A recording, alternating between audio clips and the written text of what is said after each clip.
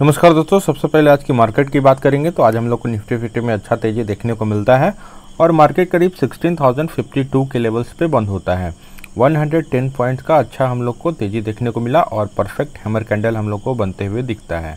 कल ही की वीडियो में बात किए थे यहाँ पे पिवट सपोर्ट है ट्वेंटी के मूविंग एवरेज के ऊपर प्राइस चल रहा है तो यहाँ पे हम लोग को कुछ सपोर्ट दिख सकता है। तो अगर निफ्टी बेस में दोस्तों अगर फ्रेश एंट्री लेना था तो इस लेवल पे आप लोग बाई करके चल सकते थे।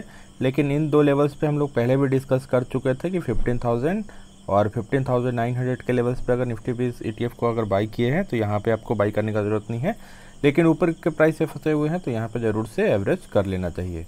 तो एक बार फिर से अपने मैथड को डिस्कस कर लेते हैं। एक ट्वेंटी का मूविंग एवरेज यूज़ करते हैं जो कि आपको ब्लू लाइन शो कर रहा होगा।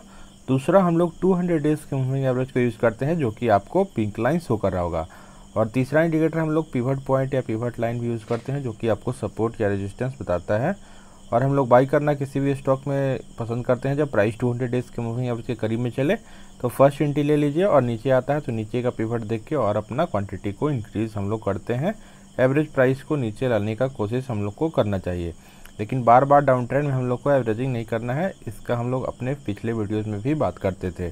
तो इन दो लेवल्स पे हम लोग बाई करने के लिए बोले थे 15,900 पे अच्छा सपोर्ट था उसके बाद और भी मार्केट नीचे आते हुए दिखता है निफ्टी फिफ्टी की अगर बात करें तो। और 15,000 के लेवल्स पे आता है और नियर अबाउट हम लोग को यहाँ पे पिछले बार भी सपोर्ट दिखा था और आज हम लोग को फिर से 16,000 के लेवल्स पे सपोर्ट दिखता है। तो अगर अभी तक निफ्टी बीज ई में एवरेज नहीं किए हैं या फ्रेश एंट्री आपको लेना है तो एक बड़ा सा ग्रीन कैंडल एक दो परसेंट का आपको निफ्टी फिफ्टी में कल फिर से देखने को मिलता है तो एवरेज कर सकते हैं। बढ़िया लोकेशन है टॉप से अच्छा खासा फॉल हो चुका है 18,400 तक निफ्टी फिफ्टी गया था।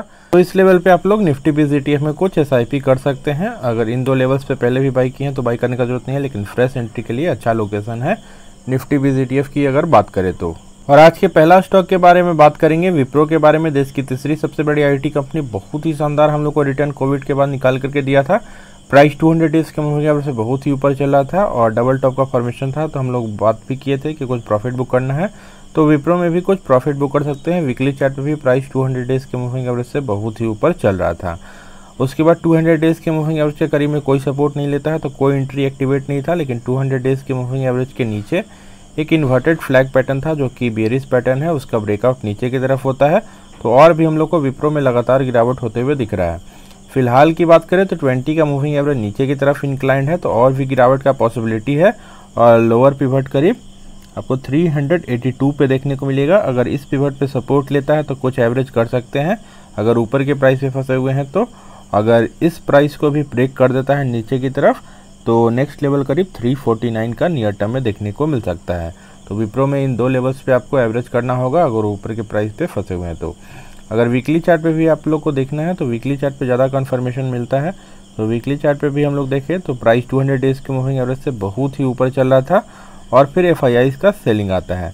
इसलिए हम लोग बात करते हैं दोस्तों कि कुछ प्रॉफिट हम लोग को ज़रूर बुक करना चाहिए समय समय पर जब प्राइस 200 डेज़ के मूविंग एवरेज से बहुत ही ऊपर चल रहे और किसी पिवट से टकराता है और डबल टॉप जैसा फॉर्मेशन आपको दिखे तो कुछ प्रॉफिट बुक कर लेना चाहिए। फ़िलहाल की बात करें तो विप्रो में लगातार बहुत ही बड़ा करेक्शन देखने को मिला और प्राइस 200 डेज़ के मूविंग एवरेज के करीब में आ चुका है वीकली चार्ट पे। तो इन लोकेशन पे हम लोग लमसम करने के लिए भी बोलते हैं, बड़ा क्वांटिटी भी आप लोग विप्रो में इस लेवल पे बाई करके चल सकते हैं, क्योंकि प्राइस 200 डेज़ के मूविंग एवरेज के करीब में आ चुका है वीकली चार्ट पे। डेली चार्ट पे हम लोग एस माध्यम से इन्वेस्टमेंट करने के लिए बोलते हैं। वीकली चार्ट पे अगर 200 डेज़ के मूविंग एवरेज के करीब में आता है तो बड़ा क्वांटिटी भी आप लोग बाई करके चल सकते हैं। यहाँ से भी एनालिसिस गलत साबित हो सकता है और प्राइस नीचे भी आ सकता है। तो दोनों पॉसिबिलिटी होता है, लेकिन हम लोग यहाँ पर बाई करेंगे। क्वालिटी स्टॉक में डरना नहीं है। अगर ऊपर के प्राइस पे फंसे हुए हैं तो ज़रूर से एवरेज हम लोग को करना चाहिए। और नेक्स्ट स्टॉक जिसको आपको बाइंग रडार में रखना है, शानदार आईटी स्टॉक है लेटेंट व्यू की अगर बात कर रहे हैं लिस्टिंग के बाद से ही बहुत ही ख़राब रिटर्न निकल कर दिया है और लगातार हम लोगों को प्राइस नीचे आते हुए दिख रहा है। फ़िलहाल की बात करें तो प्राइस 352 का भी चल रहा है। और प्राइस 20 के मूविंग एवरेज के ऊपर क्लोजिंग दे चुका है। परफेक्ट हैमर कैंडल था पिछले दिन। उसके बाद आज भी हम लोग को फोर परसेंट का बढ़िया ग्रीन कैंडल देखने को मिला। उतना तो परफेक्ट ग्रीन कैंडल नहीं है, लेकिन तभी भी फोर परसेंट का बड़ा कैंडल हम लोग को देखने को मिल रहा है। तो अगर लेटेंट व्यू में नेक्स्ट डे एक और भी बड़ा ग्रीन कैंडल हम लोग को देखने को मिलता है दो तीन परसेंट का अगर बढ़िया सा ग्रीन कैंडल आपको मिल जाता है तो उस कैंडल में आपको लेटेंट व्यू बाई करके चलना चाहिए। यहाँ से अच्छा मोमेंटम हम लोग को ऊपर की तरफ़ देखने को मिल सकता है। अपने टॉप से अच्छा खासा करेक्ट कर चुका है। शानदार आईटी स्टॉक है। तो आप इसको भी लॉन्ग टर्म के पॉइंट ऑफ़ व्यू से बाई करके चल सकते हैं। अगर लेवल्स की बात करें तो 360 के ऊपर लेवल्स पे आप लोग बाई करके चल सकते हैं। यहाँ पे थोड़ा बहुत स्मॉल रेजिस्टेंस है, लेकिन इसको जैसे ही ब्रेक करेगा, ऊपर की तरफ़ हम लोग को मोमेंटम देखने को मिलेगा लेटेंट व्यू में। वहीं अगर लेटेंट व्यू की अगर फाइनेंशियल्स की बात करें दोस्तों तो 2019 में कंपनी का रेवेन्यू करीब 296 करोड़ के करीब था, जो कि 2022 में बढ़ के हो चुका है 451 करोड़ का। तो स्टीप इंक्रीज हम लोग को रेवेन्यू में देखने को मिल रहा है, जो कि बहुत ही अच्छी बात है। वहीं अगर प्रॉफिट की भी बात करें तो 60 करोड़ के करीब प्रॉफिट था 2019 में, जो कि बढ़ के हो चुका है 130 करोड़ के करीब। तो अच्छा इंक्रीज हम लोग को लीनियर इंक्रीज देखने को मिल रहा है प्रॉफिट में भी, और हम लोग को रेवेन्यू में भी अच्छा जंप देखने को मिल रहा है। बीच में एक साल हम लोग को डिप आते हुए भी दिखा था कोविड का दौर भी चल रहा था, उसके बाद अच्छा तेज़ी देखने को मिल रहा है। इसी कारण लेटेंट व्यू बहुत ही खास स्टॉक है। और शेयर होल्डिंग पैटर्न की बात करें लेटेंट व्यू का लेटेस्ट शेयर होल्डिंग पैटर्न देखते हैं हम लोग। तो प्रमोटर्स के पास करीब 67.21 परसेंट का होल्डिंग है। पिछले क्वार्टर की तुलना में उतना ही है। तो अच्छा स्टेबल प्रमोटर्स का होल्डिंग हम लोग को देखने को मिल रहा है। वहीं एफ़ की बात करें तो एफ़ ने लगातार स्टेक घटाया है। टू परसेंट का पहले होल्डिंग था, फिर वन परसेंट का, फिर 0.93 परसेंट का स्टेक एफ़ के पास है। एफ़ लगातार मार्केट में बिकवाली कर रहे थे।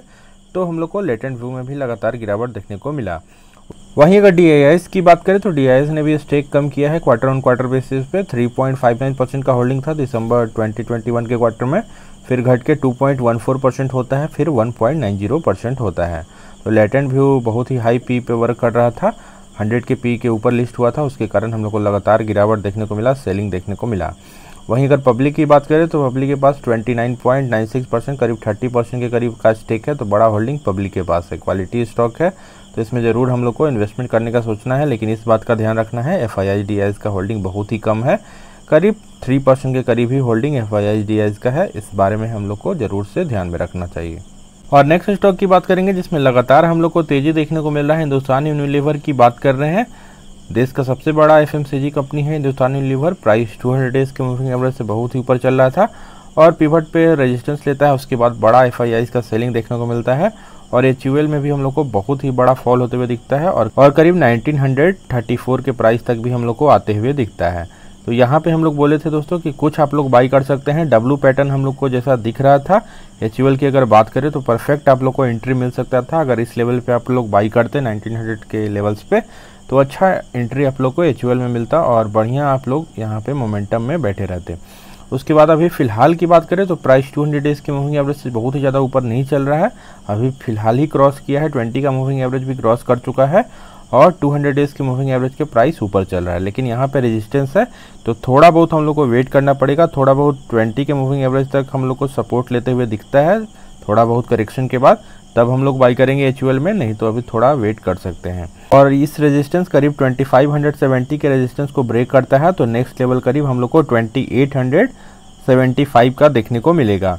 तो एक बड़ा सा ग्रीन कैंडल और भी बनता है तो कुछ एंट्री स्मॉल टर्म के लिए बाई कर सकते हैं, लेकिन परफेक्ट एंट्री के लिए 20 के मूविंग एवरेज तक आने दीजिए, तब हम लोग को अच्छा एंट्री बनेगा। वहाँ पे और भी अपना क्वांटिटी को एच में इंक्रीज कर सकते हैं। लॉन्ग टर्म में अच्छा वेल्थ क्रिएट करके देगा। शानदार एफ़ स्टॉक है। बहुत ही खास रिटर्न पिछले कुछ समय से निकाल करके नहीं दिया था। लगातार एफ़ सेक्टर में हम लोग को गिरावट देखने को मिल रहा था। और अभी एफ़ स्टॉक्स में हम लोग को लगातार तेज़ी देखने को मिल रहा है। तो एचीवल में भी हम लोग को अच्छा तेज़ी देखने को मिल रहा है कुछ और लास्ट स्टॉक की बात करेंगे दोस्तों कोटेक बैंक के बारे में। एक शानदार प्राइवेट बैंक है और कुछ खास रिटर्न पास में निकाल करके नहीं दिया है। पिछले एक डेढ़ साल में हम लोग को लगातार साइडवेज मोमेंटम ही कोटक बैंक में चलते हुए दिख रहा है। फ़िलहाल की बात करें तो प्राइस 200 डेज़ के मूविंग एवरेज से बहुत ही नीचे आता है और यहाँ पे हम लोग को पिवट का सपोर्ट दिखता है। तो इसलिए बोलते हैं पिवट के सपोर्ट पे एक्शन होता है। कुछ अगर सपोर्ट दिखे तो बाई करना चाहिए। 20 के मूविंग एवरेज को जैसे ही ब्रेक कर रहा था, वहाँ पे आप लोग बाई कर सकते थे कोटक बैंक में। हम लोग अपने चैनल पर अपडेट नहीं कर पाए कोटक बैंक में। और लेकिन आप मेथड को वही रखना है सेम ही रखना है तो इस लेवल पे आप लोग ज़रूर से बाई करके चल सकते थे। इसमें हम लोग को अगर फ्रेश एंट्री भी बनाना है दोस्तों कोटक बैंक की अगर बात करें तो थोड़ा बहुत आप लोग को वेट करना पड़ सकता है, क्योंकि अभी 20 का मूविंग एवरेज परफेक्टली इंक्लाइंड नहीं है। थोड़ा बहुत हम लोग को नियर टर्म में करेक्शन देखने को मिलता है।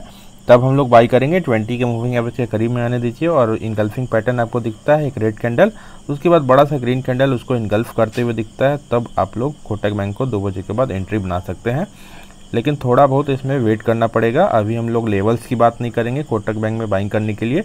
तो इसमें अभी वॉच लिस्ट में ही रखना है और कोटक बैंक में अभी थोड़ा वेट करके चलना है। और कोटक बैंक का शेयर होल्डिंग पैटर्न भी बहुत ही खास है। प्रमोटर्स की बात करें तो 26 परसेंट के करीब का होल्डिंग है।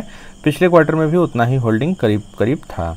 एफ़ की बात करें तो एफ़ के पास करीब 40.86 परसेंट का होल्डिंग है और पिछले क्वार्टर में 42.06 परसेंट का होल्डिंग था।